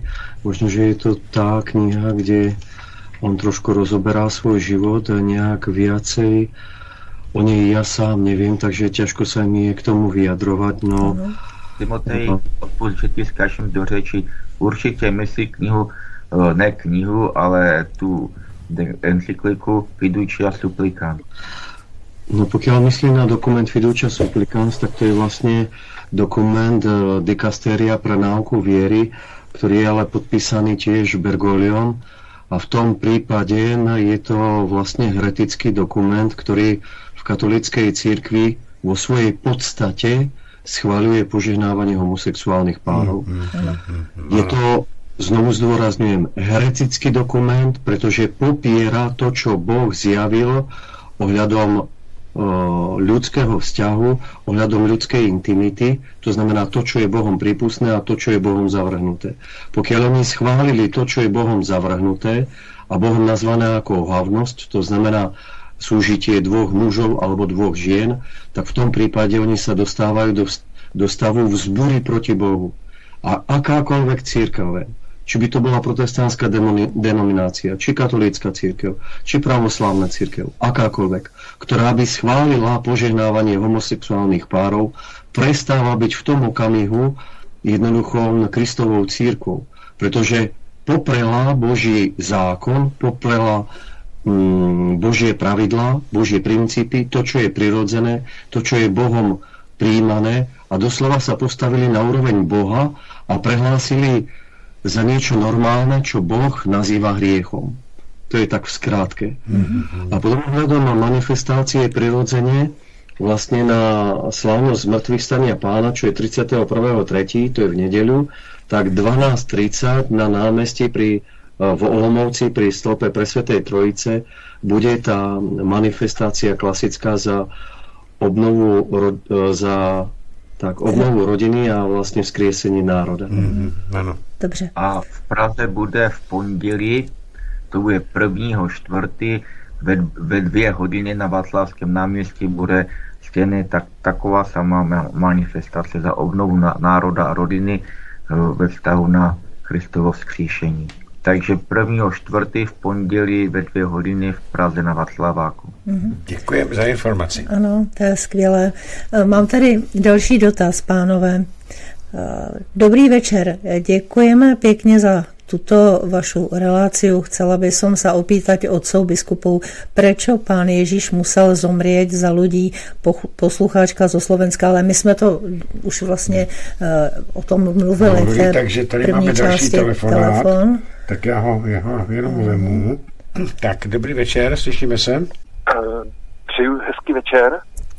Požehnaný dobrý večer. Uh, já jsem se chtěl zeptat k tomu před chvílí, co padlo, protože Levitikos 18.22 říká, nebudeš obcovat s mužem jako s ženou, je to ohavno, ale nemluví se tam o obcování ženy s ženou, tak jsem se právě chtěl zeptat na to, protože jste to odsoudili jako, že teda Eh, ty homosex, no prostě homosexuál a, a, a muž homosexuál, že jak to... Takhle homosexuální můžou být jak ženy, tak muži. Já, pořád, pořád jsou to homosexuální. Já vás, špatně, já vás špatně slyším, já si to poslechnu v rádiu, děkuju mm, vám. Ano, dobře. Dobře, my jsme vás slyšeli výborně, takže... Tak pánové, no, samozřejmě, že to se chápe nejen muž s mužem, ale žena s ženou a konkrétně, že to také apoštol Pavel blízký k Římanům v první kapitole, že vlastně říká následkem odpadu od Boha a okultismu, mágie, věštění a toho, co Bergoglio jako dělal s Kleopačamamou, tak je potom, že ženy změnily svoje, tam přímo říká Pavel, ženy změnili svoje přirozené užívání muže a rozpálili se žádostí jednak druhé a dělají to, co je před Bohem ohavné. Takže tam blízké do Římanům, první kapitola, tam apoštol Pavel eh, právě ukazuje na, na, na to, že i uh, lesbianstvo, to znamená homosexualita žen, je také veliká zvrhlost a spora proti Bohu. Ano. Tak děkuji no, za... Přesně, tak je to list Rimanom 1.26. Mhm. Dobře. Mám tady další dotaz.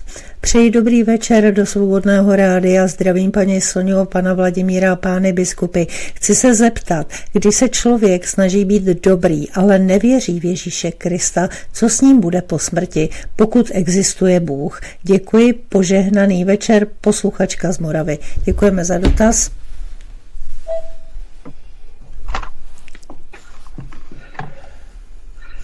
Pokiaľ môžem v Evangeliu Sv. Jána v 3. kapitole je napísané v 16. verši veľmi silné slovo.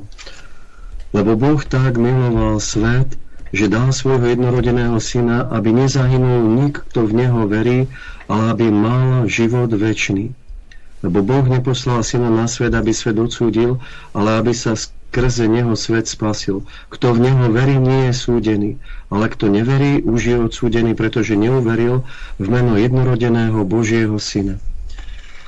Um, keby, um, keby Ježiš bol nejakou chimérou, keby Ježiš bol nejakým výmyslom, prirodzene um, by to ako uh, úplne normálne, že by človek neveril. No Ježíš Kristus je historická osoba. Historická. A nikto to nemôže poprieť. Sú o tom zmienky v rôznych letopisoch, dokonca či Jozef Flavius ako židovský letopisec o tom píše, alebo aj iní z rímskeho impéria, čo boli pohanskí letopisci, píšu vlastne o smrti Ježíša Krista. To znamená, je to konkrétna historická osoba, ale tu je práve to, že my nadobúdame spásu to znamená väčší život a odpustenie našich hriechov, práve len skrze to, že uveríme v Ježíša Krista. Milosťou ste spasení. To znamená, Ježiš urobil všetko preto, aby nám boli odpustené hriechy, aby sme boli spasení a mali väčší život. Nestačí pre nás byť len dobrým človekom, i keď je to veľmi chválihodné, i keď je to veľmi dobré. Ale k väčšinému životu to nestačí. Prečo? Pretože náš hriech je tak veľký, že naša akákoľvek veľká ľudská dobrota ho nedokáže odčiniť. Kvôli tomu musel prísť Boží syn a sám priniesť obetu zmierenia. Pretože akúkoľvek obetu zmierenia by priniesol človek, nestačila by, aby človek neuzrel smrť, aby mu bolo odpustené. Preto musel prísť Boží syn. A v tomto spočíva uveriť v Božieho Syna. Uveriť v to, že On za nás zomrel a vstal z mŕtvych. V ňom a skrze Neho nadobudáme väčší život. A kto by, i keď má možnosť v Neho uveriť, i keď má možnosť mu otvoriť svoje srdce, ale zatvrdlivo by mu nechcel otvoriť, tak v tom prípade po smrti by bol zatratený. Pretože Boh sa mu snažil klopať na dvere srdca, snažil sa k nemu prísť, ale on nechcel. No a tu je um, tu v Českej republike som sa stretol s veľmi veľa ľuďmi, ktorí vlastne hovoria, ja som dobrý človek. Ako ja mám z toho radosť, pretože skutočne vidím veľké množstvo dobrých ľudí. Ja mám z toho radosť. No na druhej strane smútok. Pretože keď začnem im zvestovať Ježiša Krista, tak sa nechcú otvoriť a nechcú nám počuť absolútne nič. Čo by som mohol poradiť e, vlastne človeku, ktorý je dobrý? Skúste urobiť jednu dôležitú vec. Pane Ježišu, Ty si zvrchovane dobrý. Ja ťa nepoznal. Daj sa mi poznať, aby aj to všetko dobré, ktoré robím, malo pred tebou nejakú hodnotu. Aby bolo skutočne pre moje dobro. Ale daj mi pochopiť jednu vec, že väčší život a spásu získavam jedine v tebe. A to je spojené s hlbokou pokorou. Že na jednej strane si uvedomujem dobro, ktoré robím, ale na druhej strane musím si byť vedomý jednej veci. Je to také jednoduché ako základné matematické pravidlo. 1 plus 1 sú 2 a nikdy nebudú 3 ani 4. To len deti mi sem tam občas robia napriek, mi povedia, nie, nie, 4, 5 a si robia zo mňa srandu. No to robia deti, no dospelí také veci nerobia. A tu je základné matematické pravidlo. Pokiaľ človek chce mať väčší život a byť spasený, nie je inej cesty, ako uveriť v Ježíša Krista. Pretože jedine v ňom je väčší život a spása. Krásně jste to řekl, pane biskupe. Já věřím v Ježíše, v Ježíše Krista, protože on je pro mě důvěryhodný. On mě chrání před tím, abych nerozpoznala a byla hloupě důvěřivá a nerozpoznala zlo. Já se teďka vrátím několik pár měsíců zpátky. Podívejte se, jak lidé důvěřovali tomu, co jim média říkají o covidu. Jak se nechávali vakcinovat a nerozpoznali, že je to velký klam, že je to velké zlo. A věřili tomu. A mě Ježíš Kristus chrání před tím, abych já vždycky poznala to, co je správné. A také i díky vám, pánové biskupové, protože vy jste byli jedni z prvních, kteří na, upozorňovali na to, jaké zlo se tady páchá, jaký klam se valí na lidi. Vy jste byli jedni z těch, kteří drželi hrdinsky stráž nad normalitou. A já, já vám děkuji zpětně, opravdu musím oceňovat váš přístup. Takže to je jenom můj, můj pohled. Vladimíre, chceš ty něco k tomu dodat? Jenom jednu věc, ne k tomu, co jsi říkala teďka ty, protože mm, doplním, my jsme byli první médium, které jsme o tom hovořili s paní doktorkou Pekovou. Úplně první médium v České republice. Paní doktorka Peková tady byla u nás poprvé a udělala to veliký rozhovor. Ale to je vedlejší. Ale jinak k tomu, co jste říkal vy, pane biskupe Timotej, o tom, že se setkáváte s lidmi, kteří o sobě říkají, jsou dobrým člověkem. Od nikdo soudný, a teď to budu z filozofického hlediska, o sobě nemůže říct, jsem dobrý člověk. Protože dobrý člověk znamená, že je v dobrým v každém ohledu lidské činnosti, v každém ohledu myšlení. A nikdo není dokonalý, nikdo není bezchybný. Takže já bych nikdy v životě o sobě neřekl, že jsem dobrý člověk. Já jsem naopak veliký hříšník, protože na mě se už musí čerti těšit. Já se rád dobře najím, sice málo, malé porce, ale najím. Rád se dobře napiju, sice ne alkoholu, ale i jiných věcí. A kouřím. A to je strašlivý hřích. To je pravda. Takže ale... se na mě musí čerti těšit. A mě to ale chutná. ale ty jíš proto, aby si žil a ne, že by si žil proto, Ne, abych aby jedl, si, ano, ano. Aby si jedl, tak já pozor. Já jim málo, protože nepotřebuji moc. Tak a teď tak já, já jsem... si myslím, pane Vladimíre, třeba to podívat se z druhé strany, kolik jste udělal dobra, kolik máte zásluh před národem, kolik jste pomohl. To, že třeba máte rád jídlo, já myslím, že to je úplně malinká věc. A, a že kouříte, já myslím, že to vám Pane Ježíš tež rád odpustí, jenom když ho to poprosíte. A už tím, že jste řekl, že nejste dokonalý, jako nikdo nemůže být kromě Boha, a že jste hříšník, tak to už je prakticky, uh, jste udělal ten nejpodstatnější krok k tomu, abyste byl spasen. Protože spása začíná tak, že já řeknu, jsem hříšník Ježíši a potřebuji odpuštění. A v té chvíli Pán Ježíš nás odpou, nám odpouští. Takže já bych to tak neviděl. Čerpy se na vás netěší, a my nedovolíme, aby se vás vzali do pekla. My uděláme všechno pro to, aby, abyste se dostal i my, i vy s námi do nebe. Děkuji moc. Eh, takže blíží se konec vysílání, tak já mám dojem, pane biskupe Metodí, že teďka je, eh, dneska je řada na vás, abyste dal požehnání, Sonio. Ty seš ano, já vás poprosím, pane biskupe, kdy, kdybyste byl tak laskav a, a vzpomněl na všechny lidi dobré vůle. I na nás, na hříšníky. I, i na hříšníky, kteří si uvědomují své hříchy a, a kají se. A já musím opět eh, vzpomenout i na všechny lidi, kteří eh, jsou vystaveni eh, těm zvěrstvům, která se tady dějí. Jsou vystaveni tomu, že páni rozhodli, že musí jít bojovat a oni umírají za naprosté nesmysly, úplně zbytečně. Jsou to miliony lidí. Je to něco strašného, co se děje.